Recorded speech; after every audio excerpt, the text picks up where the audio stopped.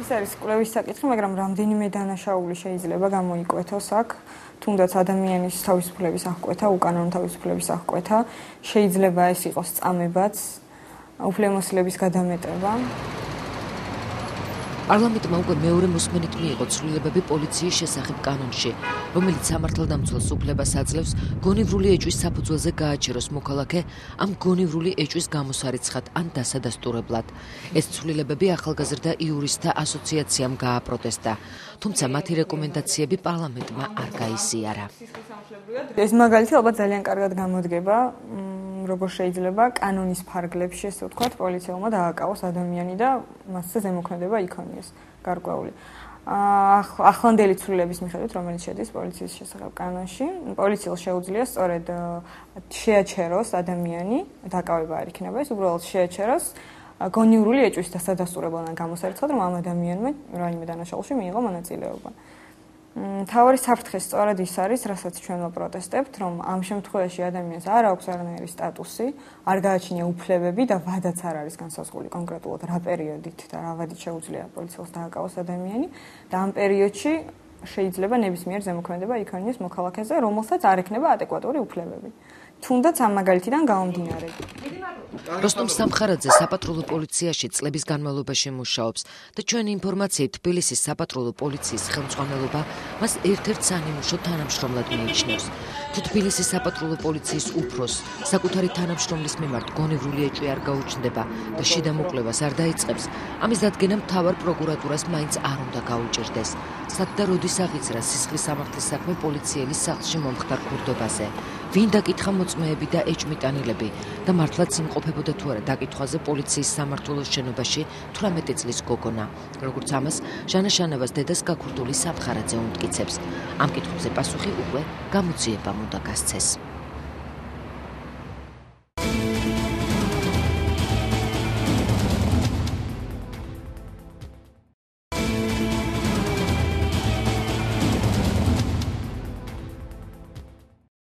ჩვენი შემდეგი რეპორტაჟის მთავარი მოქმედი პირიც გოგონა. გვანცაყუფარაძე რომელსაც 4 წლის წინ ჯერ კიდევ არასრულწლოვანს თანატოლის განზრახმკლობის მცდელობისთვის სასამართლომ კაცრი განაჩენი გამოუტანა. გვანცაყუფარაძე რკინის გისოსებიდან ეძებს სიმართლეს თუმცა ჯერჯერობით უშედეგოდ. იმედად არსალია გიამბობთ ამ უცნაურ სისხლის სამართლის საქმეზე. ექსპერტიზის დასკვნაზე რომელიც არასრულწლოვანის საქმეს თავდაყირა აყენებს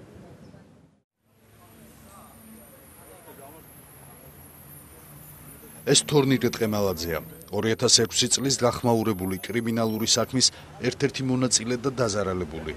ძიების ოფიციალური ვერსიით მას 33 ჭრილობა დანით თანაკლასელმა 14 წლის რუანსა ყუფარაძემ მიაყენა შემთხვევა რის გამოც სასამართლომ არასრულწლოვან რუანსა ყუფარაძეს 10 წლით თავისუფლების აღკვეთა მიუსაჯა 4 წლის წინ მე-12 საჯარო სკოლის ტერიტორიაზე სასწავლო პროცესის დროს მოხდა.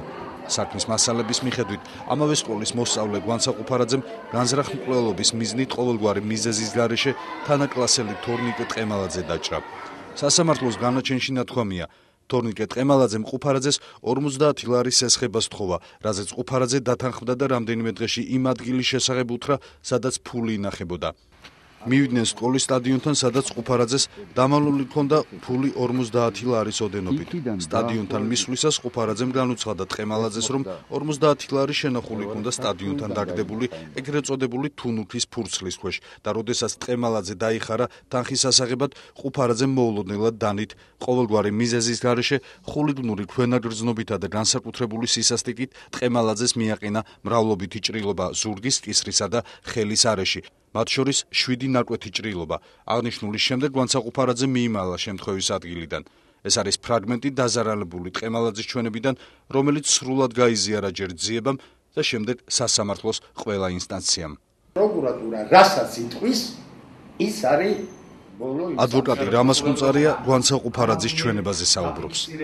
როდესაც ესენი საუბრობდნენ სკოლის სიღრმეში კეზოში რომ ფული თუ ვერ ვიშოვნე და ცუდად იქნება ჩემი საქმე და ასე შემდეგ გვანცაშვენებით ამ დროს იქ ღობია ისეთი ღობია რომ გადმოხტომა შეიძლება დაბალი ღობია. გადმოხტა ორი პიროვნება გინებით. და გამოიქანენ მათკენ. მივარდნენ ტყემალაძეს, ну, უფრო დიდები ტყემალაძესთან შედარებით 1.25 წლის ხალხია ეგა. მივარდნენ ამას, ერთმა ფეხებს შუა დაიჭირა. ტყემალაძე დაუწყო დანით აი ჩხვლეტები, ახლა კი არ კლავდნენ, აი ჩხვლეტები და ჟიდნენ და აი შე რო ეს გააკეთეო, ამიტომ ჟიდო. იყო ეს ლაპარაკი. ანუ ის რომ ესენი იცნობდნენ გვანცა მიხვდა ამას და გვანცა ამას უყურებს ამის თვითხილველი გახდა და წინიდან ურტყამს მეორე თან გვანცა აღწერს რომ ერთს ქონდა უფრო დიდი დანა მეორეს უფრო პატარა დანა. აი ამ პერიოდში კიდე ორი პიროვნება გადმოხდა იქიდან და მოვიდნენ ამათ. და მიდის ეს ამის დაჭრა. ნუ ეს ვერ ეკანება და იმიტომ აქ მიღებული 33 ჭრილობა. უფარაძის ადვოკატის თქმით, გვანსაჩვენება სასამართლოს არც კი განუხილავს. ამბობს იმასაც, რომ სასამართლომ ვერ გამოარტყია დანაშაულის ჩადენის мотиваცია. საქმეში დევს სამედიცინო დასკვნა, რომლის თანახმადაც გვანსაყუფარაძე ფსიქიურად ჯანმრთელია. 4 წლის წინ დასრულებულ საქმეში ახალი დეტალები ჩნდება. B12 სკოლის თანამშრომლები კამერის წინ საჯაროდ საუბარს დღესაც ერიდებიან. ამბობენ, რომ ეშინია, თუმცა პირად საუბარში აცხადებენ, რომ 14 წლის გვანცაყუფარაძე ამ დანაშაულის მხოლოდ შემთხვევითი მოწმია. B12 სკოლის თანამშრომლები სამსახურის დაკარგვის შიშით ანონიმურობის დაცვას გთხოვენ. ზეწოლა იყო იმ მასწავლებლებზე, რომლებმაც ნამდვილად ნახეს ეს და მე ამის მასწავლებლები არიან ეს ვინც გავიდა პირველი ფიზკულტურის მასწავლებელი იყო კიდე რუსულის მასწავლებელი რა რა არის ფიზკულტურის მასწავლებელი? სუტური სუტური სუტური და კიდე ვინ იყო რუსულის მასწავლებელი? რუსულის მასწავლებელი ნელა იყო იქ იმ პერიოდში ჩუბინიძე ისინი გარბოდნენ მე რო დავინახე და იმათმა შემოყვანეს ბავშვი იმათმა და კიდე ბიჭებმა სწორიც გავიდნენ კონსოლი დირექტორი ეშინიათ ნამდვილად ეშინიათ რომ იმიტომ რომ იმ წუთში შეუძლიათ რაღაცა მოუწონდა განთავისუფლდა ახლა ყველას უჭირს იმ სამსახურებს სამსახურის დაკარგვა ამდენად უჭირს რაღაცა კაპიკები. ამ ქუჩიდან მომავალი ერთ-ერთი ქალბატონი რომელიც მოწმეთ არის სასამართლოზე დაკითხული თუ არ წერ პაჭუკი გვარად აქედან მომავალმა დაინახა როგორ გადახდა ორი პიროვნება. გინებით. ეს პიროვნება მოდიოდა ამ ოჯახში თავის ახლობელთან მოწმეთა ჩვენებები ყუფარაძის საქმეზე გამოტანილ განაჩენს თავდაღირა აყენებს. მათი ნაამბობის მიხედვით ირკვევა, რომ 4 უცნობი 25 წლამდე ასაკის მამაკაცი შემთხვევის წინა დღეს სკოლის შენობაში შეღწევასა და თორნიკე ტყემალაძესთან შეხვედრას ცდილობდა, თუმცა ისინი სკოლის პედაგოგებმა არ შეუშვეს. მეორე დღეს კი თორნიკე ტყემალაძე სკოლის ეზოში დაჭრილი იპოვეს.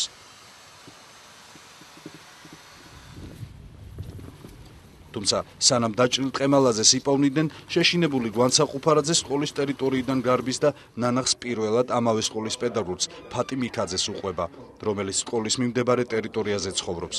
სასამართლომ განაჩენში მოგვიანებით ჩაწერა, რომ გვანცაყუფარაძე დანაშაულის ადგილიდან მიიმალა. ну რა თქმა უნდა შემოვიყვანა ეს ბავშვი, მაგრამ ტიროდა, ღრიალებდა, რომ უშველეთ ვიღაცას თორნიკეს, ну თორნიკე მე ხა ჩემ მოსწავლე მეგონა შემოვიყვანე ბავშვი დავაწვინე საწოლზე უშველეთ თორნიკეს მომსდევენ და ასე შემდეგ მითხრა რომ თორნიკე დაჭრა დაჭრეს მეტი არაფერი სკოლის თანამშრომლები გვიდასტურებენ იმას, რომ რამდენიმე პედაგოგმა დაინახა თუ როგორ მიათრევდა ორი უცხო პიროვნება დაჭრილ ტყემალაძეს სპორტული მოედნისკენ. ასახელებენ პედაგოგების გვარებსაც და ამბობენ, რომ ისინი პირველ დღეს ამის შესახებ ხმამაღლა საუბრობდნენ. იმ პედაგოგებმა ვინც ფიზიკურად ნახა და ვინც თქვა იმ დღეს ვინც განაცხადა რომ აი ესე ოთხმა ბიჭმა მოიყვანაო და დასვაო რო ნახეს თავიანთვალი და იმ დღეს რო თქვეს მეორე დღეს არც ერთმა არ გაიმეორა ეს სიტუაცია. ანუ არსებობენ პედაგოგები ვინც ის ოთხი ბიჭი ნახა. რა თქმა უნდა არსებობენ მე ყველამ გადათქვა მე დააშინეს ეშინიათ. ვანცაც ბრალი არ არის ისი ერთმანეთში სლაპარაკობენ ო ჩუმა ბრლეცა არ გაიგოს ესე და დირექტორს რა ინტერესი ჰქონდა რომ განცაც დაედანაშაულებინა? ნუ ჩემი სკოლაში ისეთი ამბავი მოხდა, მეც მოვხდინე. ანუ პასუხისმგებლობას. ხო. მაგადეში და თორე. ი თორნიკეს სულაც არ გაიგე, მაგ თავი თავი ციტა. თქვენთან რო იყო კაცი იქა ეზოში. ის გაცმაც იცით, იქიდან უღურებდნენ მეორე სართულიდან. ის კაცი ცით იყო რო? პოსტავად, ხო. პოსტავად იყო. ალეკო ჯავახიშვილი იყო და თამაგი სუფრი იყო. და რატო არიან გაჩვენებული? კოჭული რეშინია სამუშოდენე და. ხო? და ეს ის დრო იყო, ვინი ფიქრებდა ეს ყაჩაღი მოვიდოდა ჩვენთან სკოლაში.